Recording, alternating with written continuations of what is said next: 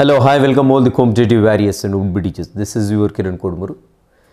Yes మరి ఇంటర్మీడియట్కు సంబంధించినటువంటి సిలబస్ అయితే కంప్లీట్ అయిపోయిందండి మనది ఎస్పెషల్లీ ప్లాంట్ ఫిజియాలజీ కావచ్చు అదేవిధంగా యానిమల్ ఫిజియాలజీ కావచ్చు నెక్స్ట్ వచ్చేసి మనకు సిలబస్లో ఉండే టెక్స్ట్ బుక్స్లో అనేటువంటి కొన్ని టాపిక్స్ ఏవైతున్నాయో అవి కవర్ చేయడం అయిపోయింది సో మరి కొన్ని చిన్న చిన్న టాపిక్స్ ఉన్నాయి అవి ఏంటి ఎక్కడ ఉంటాయి నాలెడ్జ్ బేస్డ్గా ఉంటాయండి కంప్లీట్గా అవి బయాడ్ చేయాల్సిన పనే ఉంటుంది కంప్లీట్గా సో దాంట్లో పెద్ద కాంప్లెక్సిటీ అయితే ఏం లేదు. అన్నెసెసరీ టైం వేస్ట్ అనేసి నేను లాస్ట్ సెషన్లో చెప్పాను. అండ్ uh, ఇంకా వచ్చేసి మనకి uh, ఫస్ట్ ఎయిడ్లో వచ్చేసి snake bite scorpion bite insect bite అయితే ఉన్నాయి. సో స్నేక్ బైట్ గురించి కూడా చెప్తాను ఈరోజు సెషన్లో దానికంటే ముందు మరి మన యొక్క డిస్క్రిప్షన్లో చూసినట్లయితే మన యాప్ అనేది అందుబాటులో ఉంది లింక్ అనేది. వాట్స్ బిహైండ్ అనేటువంటి ప్లే ప్లే స్టోర్లో ఉంటుంది. అండ్ దాంట్లో డిఎస్సికి సంబంధించినటువంటి మెథడాలజీ కావచ్చు పర్స్పెక్టివ్స్ ఇన్ ఎడ్యుకేషన్ కావచ్చు అండ్ కాంటెంట్ కావచ్చు సిక్స్త్ నుండి ఇంటర్మీడియట్ వరకు అనేది అందుబాటులో ఉంటుంది. ఎవరికైనా కావాలంటే అక్కడ డౌన్లోడ్ చేసుకోండి. అండ్ అదేవిధంగా మన వాట్స్ బిహైండ్ వాట్సాప్ గ్రూప్ కూడా ఉందండి. దానికి సంబంధించిన లింక్ కూడా అవైలబుల్గా ఉంది. ఎవరైనా కావాలంటే అక్కడ క్లిక్ చేసి జాయిన్ కావచ్చు. రైట్ ఇక్కడ చూద్దాం. మనకి మనకు ఇంకా కవర్ కాని ఏంటి చిన్న చిన్న టాపిక్స్ అని చెప్పాను కదా క్లాసిఫికేషన్ ఒకటి ఉందండి. సో అది మనకి బాటనీ ఫస్ట్ ఇయర్ బుక్లో చూసుకుంటే సరిపోతుంది. మ్యాక్సిమం ఇచ్చాడు. సో ఈవెన్ మనకి మొత్తం జీవుల వర్గీకరణ ఇచ్చాడు. ఈ ఇక్కడ మనకేంటి ప్లాంట్స్ ఇచ్చాడు అదేవిధంగా జీవుల గురించి ఇచ్చాడు డిఫరెంట్ డిఫరెంట్ లెవెల్స్లో ఇవ్వడం జరిగింది. అండ్ ఇంకా కావాలంటే మనకి జువాలజీ ఫస్ట్ ఇయర్లో కొంతవరకు చూసుకోవడానికి అవకాశం ఉంది. అండ్ దెన్ వచ్చేసి వైరస్ బ్యాక్టీరియా ఇవైతే ఉన్నాయో బాటనీ సెకండ్ ఇయర్ బుక్లో ఇచ్చాడండి. తెలియకుండా బుక్ గురించే చెప్తున్నాను నేను. బాటనీ సెకండ్ ఈ సెకండ్ ఇయర్ బుక్లో వచ్చేసి వైరస్ల గురించి బ్యాక్టీరియా గురించి చాలా క్లియర్ కట్గా ఇచ్చాడు. నాకు తెలిసి హార్డ్లీ ఒక ఫైవ్ పేజెస్ ఏమి ఉన్నట్టుంది. కంప్లీట్గా ఏంటి టైప్స్ ఏంటి వాటిలో రిప్రొడక్షన్ ఏ విధంగా జరుగుతుంది వాటి గురించి ఇవ్వడం జరిగింది. అది ఒకసారి చూసుకోండి. ఆల్గే వచ్చేసి మనకి బాటనీ ఫస్ట్ ఇయర్లో ఉందండి. బాటనీ ఫస్ట్ ఇయర్ బుక్లో ఇవ్వడం జరిగింది. చూసుకోండి సరిపోతుంది. అండ్ ఫ ఫంజీ ప్రోటోజోన్స్ ఇవన్నీ కూడా బాటనీ ఫస్ట్ ఇయర్లోనే ఇచ్చాడు. సో మన క్లాసిఫికేషన్లో వీటన్నిటి గురించి వచ్చేస్తుంది. ఆ ఇన్ఫర్మేషన్ చాలండి అంతకుమించి అవసరం లేదు ఇంకా. అండ్ మనకి బాటనీ ఫస్ట్ ఇయర్లో మానవ సంక్షేమంలో మొక్కలు సూక్ష్మజీవులు అనే యూనిట్ ఉందండి. అది చదవండి ఇంపార్టెంట్ అండి. మానవ సంక్షేమంలో మొక్కలు సూక్ష్మజీవులు మనకు ఎక్కడ కవర్ అవుతుందంటే యాక్చువల్గా మనము ఉపయోగకరమైనటువంటి సూక్ష్మజీవుల గురించి లేదంటే హార్మ్ఫుల్ మైక్రో ఆర్గనిజమ్స్ ఏవైతే ఉన్నాయో సో వాటి గురించి మనకి ఇక్కడ క్లియర్గా దొరుకుతుంది. అండ్ స్పెషల్లీ ఏంటంటే ఉపయోగకరమైనటువంటి మొక్కలు సూక్ష్మజీవులు ఇంపార్టెంట్. అది అదొకటి చూసుకోండి. అది బాటనీ ఫస్ట్ ఇయర్లో ఉంటుందండి. నెక్స్ట్ వచ్చేసి సెల్ ఆర్గానిల్స్. మనకు సెల్ గురించి చెప్పుకున్నప్పుడు సెల్ గురించి దాని యొక్క డివిజన్ ఏంటి? మైటాస్ అండ్ మియాస్ ఏంటి? క్లియర్ కట్గా నేర్చుకున్నాం. సో సెల్ ఆర్గానిల్స్ వచ్చేసి బాటనీ ఫస్ట్ ఇయర్ అండి. దాంట్లో ఉంటుంది. అది చూసుకోండి. అండ్ దెన్ వచ్చేసి పొల్యూషన్ కాలుష్యం వచ్చేసి జువాలజీ ఫస్ట్ ఇయర్లో ఉంది. జువాలజీ ఫస్ట్ ఇయర్ టెక్స్ట్ బుక్లో చివరిలో ఉంటుంది పర్యావరణం సంబంధించిన అంశాలు. సో అక్కడ మనకి వాయు కాలుష్యం కావచ్చు జల కాలుష్యం కావచ్చు భూమి కాలుష్యం కావచ్చు. అండ్ మన పొల్యూషన్ సంబంధించిన కొన్ని టాపిక్స్ ఏవైతే ఉన్నాయో అవి చెప్పడం జరిగిందండి. సో జస్ట్ ఒక three or four types of pollutions ఉన్నాయి. అవి జువాలజీ ఫస్ట్ ఇయర్ బుక్లో దొరుకుతాయండి. నెక్స్ట్ వచ్చేసి plants and crop diseases controlling measures వచ్చేసి బాటనీ సెకండ్ ఇయర్ బుక్లో ఉంటుందండి. బాటనీ సెకండ్ ఇయర్ బుక్లో ఉంటుంది. చాలా చిన్న చిన్న టాపిక్స్ అండి ఇవి. సో మీరు కరెక్ట్గా కూర్చుంటే ఒక ఫైవ్ డేస్లో కంప్లీట్ చేస్తారు. నోట్స్ రాసుకుంటూ కంప్లీట్ చేసుకోవడానికి అవకాశం ఉంటుంది. నెక్స్ట్ వచ్చేసి pisciculture poultry breeding of cows and buffaloes. అంటే చేపల సంవర్ధన మత్స్య సంవర్ధనము నెక్స్ట్ పౌల్ట్రీ మనకు ఆల్రెడీ ఎయిత్ క్లాస్లో కవర్ చేయడం జరిగింది. ఇంకా ఇక్కడ breeding of cows and buffaloes వచ్చి మనకి ఎయిత్ క్లాస్లో కవర్ కాదండి ఇది. సో ఇక్కడ వచ్చేసి జువాలజీ సెకండ్ ఇయర్ బుక్లో మనకి అనువర్తిత జీవశాస్త్రం అని ఉంటుంది. దాంట్లో జువాలజీ సెకండ్ ఇయర్లో చదవండి మీకు ఇవన్నీ కూడా కవర్ అయిపోతూ ఉంటాయి. ఒక సెరికల్చర్ మాత్రం కవర్ కాలేదు. నేను వీలైతే మధ్యలో ఒకసారి ఎప్పుడైనా ఒకసారి సెరికల్చర్ గురించి ఇన్ఫర్మేషన్ గ్యార్ చేసి చెప్తాను. యాక్చువల్గా ఓల్డ్ బుక్లో ఉండండి సెరికల్చర్. ఎయిత్ క్లాస్ ఓల్డ్ బుక్లో ఉండే సెరికల్చర్. ఇప్పుడు కూడా ఇచ్చాడు బట్ కొంచెమే ఉంది బట్ పాత దాంట్లో చాలా ఎక్కువగా ఉండేది. నేను ఆ సెరికల్చర్ అనేది డెఫినెట్గా మధ్యలో ఎప్పుడో ఒకసారి క్లాస్ చేసి అప్లోడ్ చేసి పంపిస్తాను. ఆల్రెడీ తీసుకున్న వాళ్ళకి అందుబాటులోకి తీసుకొస్తాను. అండ్ ఇక్కడ ఈరోజు సెషన్లో మరొక అంశం ఏంటంటే పాము కాటు ప్రథమ చికిత్స. సో పాము కాటు. సో పాము కాటు అనగానే మనకు తెలిసిందే పాములు రెండు రకాలుగా ఉంటాయి. కొన్నేమో పాయిజనస్ స్నేక్స్ ఉంటాయి విషపూరితమైనటువంటి సర్పాలు ఉంటాయి. కొన్నేమో నాన్ పాయిజనస్ స్నేక్స్ ఉంటాయి విషము లేనటువంటి సర్పాలు.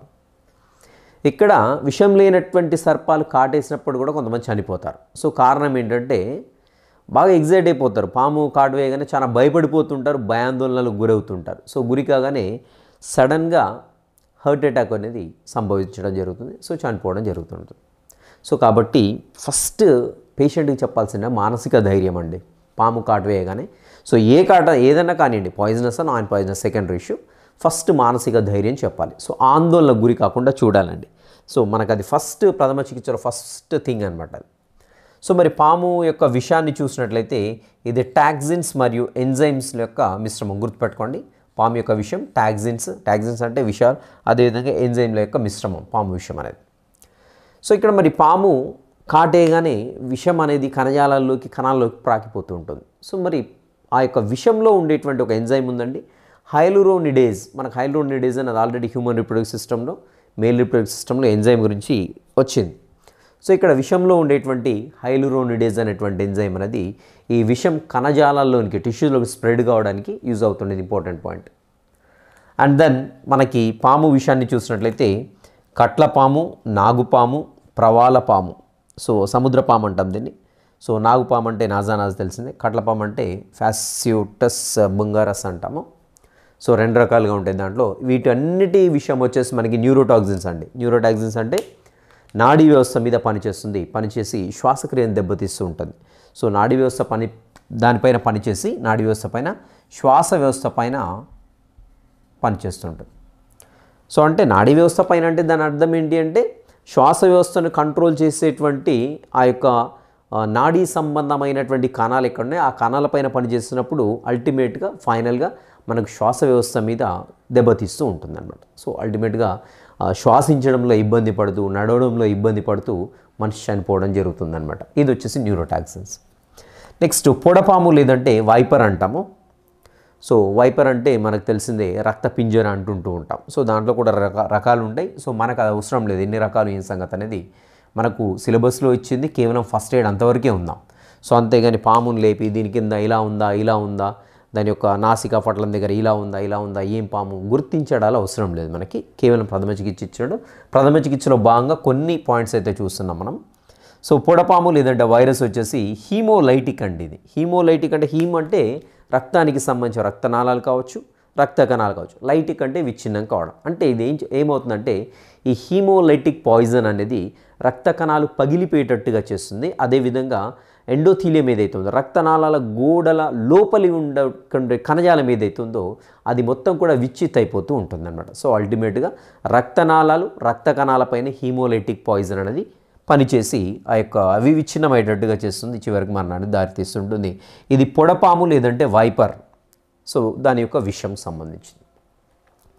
సో మరి ప్రథమ చికిత్సలో భాగంగా చూసినట్టయితే మేజర్గా ఇవ్వాల్సింది మానసిక ధైర్యం అండి లేకుంటే గుండెపోటు సంభవిస్తుంటుంది. అది విషరహిత పాము కాటేసినప్పటికి కూడా గుండెపోటు సంభవిస్తుంటుంది.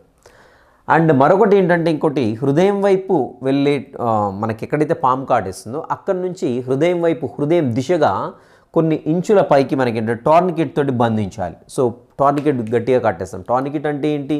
మనకు బ్లడ్ తీసేటప్పుడు ఇక్కడ ఒకటి స్ట్రైప్ లాంటిది గట్టిగా పెట్టేస్తారు టైట్గా పెట్టేస్తారు. సో దాన్ని టాన్ గిడ్గా చెప్తున్నాం సో ఈ టార్నికెట్ ఫర్ ఎగ్జాంపుల్ ఇక్కడ కాటేసింది అనుకోండి.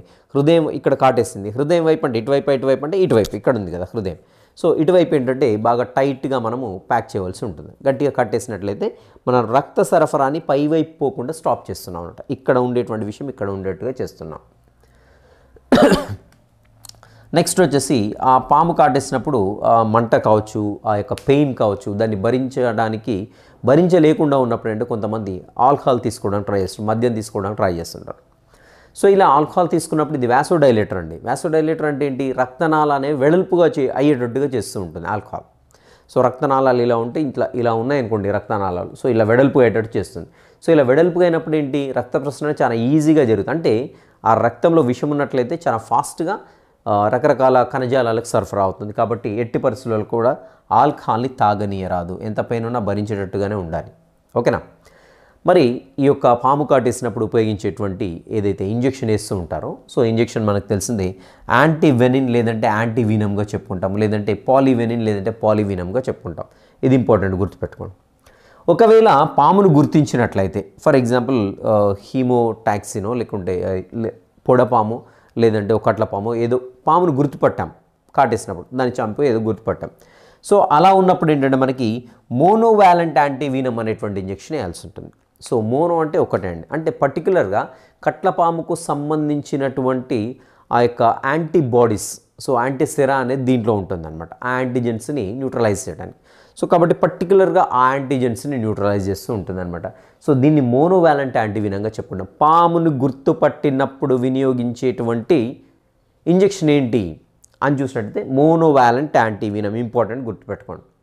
సో ఇన్ కేస్ uh, పాము కాటేసింది వెళ్ళిపోయింది ఏ పాము కాటేసిందో తెలియదు సో అలాంటి సందర్భంలో ఏంటంటే పాలీవాలెంట్ యాంటీవీనం uh, అనేది ఇవ్వాల్సి ఉంది పాలీవాలెంట్ అంటే మనకి అనేక రకాల పాముల విషానికి సంబంధించినటువంటి విరుగుడు పదార్థాలు దాంట్లో ఉంటాయి. అనేక రకాలు కాబట్టి పాలీవాలెంట్ అంటున్నాం దీన్ని. సో మోనో అంటే ఒక రకమైన పాముకు సంబంధించిన విషయాన్ని న్యూట్రలైజ్ చేసేటువంటి యాంటీబాడీస్ దాంట్లో ఉంటాయన్నమాట. మనకు తెలిసింది ఇది ఎలా తయారు చేస్తారన్నది మనకు తెలిసిందే కదా.